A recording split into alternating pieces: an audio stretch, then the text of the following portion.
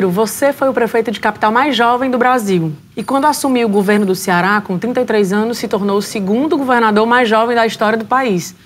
Foi difícil assumir tantas responsabilidades ainda tão jovem? Sinceramente? Sinceramente. Olha, não. Não é que eu não seja capaz de errar, mas eu assumi com aquela sensação de que eu não podia errar. Eu não podia errar porque eu sei que sobre o jovem sempre pesa uma desconfiança maior e o jovem tem que acabar valendo dobrado para poder mostrar que não vai errar. Mas a ciência de não errar não é você ser o dono da verdade. É aquilo que eu sempre procurei fazer, me cercar de gente que entende dos assuntos, sabe? Não tinha perigo de eu tomar uma decisão que eu não reunisse os melhores especialistas, ouvisse a sabedoria do povo. E essa é a ciência, é você ter o espírito público e procurar sempre ter a humildade de fazer as decisões coletivas, obedecer a um planejamento, obedecer a uma estratégia amadurecida com muita gente. E quais foram os seus maiores desafios? Que talvez o desafio mais grave de todos, o mais urgente, foi que eu administrei três anos seguidos de seca. E assim que eu tomei posse, acabou a água praticamente da região metropolitana de Fortaleza.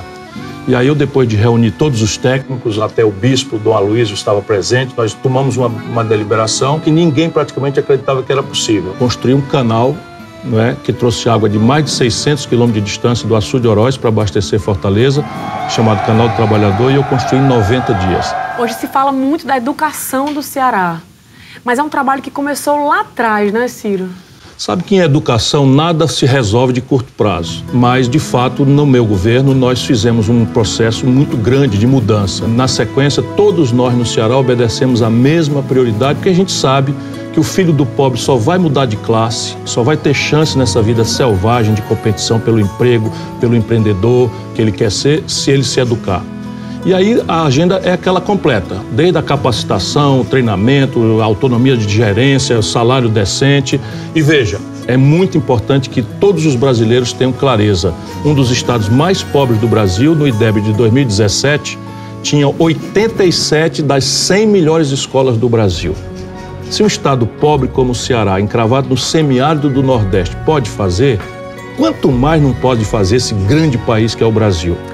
Nessa época, as pesquisas apontavam você como o governador mais popular do Brasil, com taxas de aprovação sempre acima de 70%. E você também foi citado pela revista Time como uma das 100 principais lideranças emergentes do mundo. Tudo isso para mim é muito gratificante, sabe? Mas se eu quisesse fazer uma lembrança, a mais comovente de todas, foi que eu fui ao plenário das Nações Unidas receber, junto com o Tasso Gereissati, com a representante da pastoral universitária, com a representante da Sociedade Brasileira de Pediatria, com uma representante das, dos agentes comunitários de saúde, que é um programa que nós criamos no Ceará, é? eu recebi o Prêmio Mundial de Combate à Mortalidade Infantil por um programa que nós criamos ainda no governo do Tasso e que eu universalizei, chamado Viva Criança. Esse programa foi a melhor, melhor experiência de combate à mortalidade infantil anotada pela Unicef no mundo. Nós derrubamos em 32% a mortalidade infantil, o que para mim é uma prova muito poderosa de que governo, sabe, planejado, governo comprometido com a população é capaz de cons conseguir proezas para o mundo inteiro admirar. Esse seu governo também teve um outro momento muito marcante que foi o motim no Instituto Penal Paulo Sarazate, né? E rapaz, essa é uma lembrança que eu sinto arrepio quando lembro, mas Deus foi muito grande e generoso comigo também.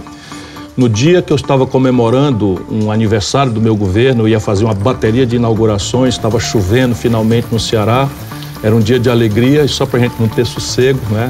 O, era o dia de visitação no, no, no, no, antigo presídio, o maior presídio, que era uma espécie de Carandiru do Ceará. Estava lá uma série de pessoas e houve uma rebelião e foram feitos reféns, deputado estadual, secretário de Justiça e mais grave, delicado, globalmente falando, os presos fizeram Dom Aloysio Lochaide, um santo homem que era o cardeal arcebispo de Fortaleza e que tinha recebido o voto para Papa do então Papa.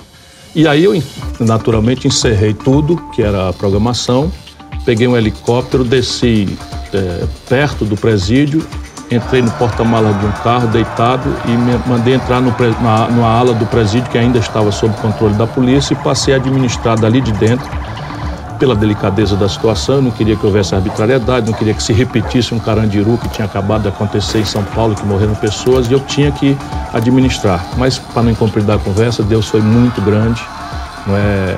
Houve momentos em que eu me ofereci para me trocar pelo Dom Luísio. Os presos amotinados concordaram e Dom Luísio, que além de tudo era muito valente, civicamente falando, não aceitou. Pelo contrário, exigiu que fosse ele, Dom Luísio, o último refém a ser libertado. E eu administrei aquela crise com muita gente me ajudando e volto a dizer, eu tenho sempre essa gratidão. Deus foi tão grande que eu consegui libertar todos os reféns, nenhum preso foi morto e todos foram presos novamente. Ciro, depois de governar o Ceará, você foi ser ministro da Fazenda do governo Itamar Franco.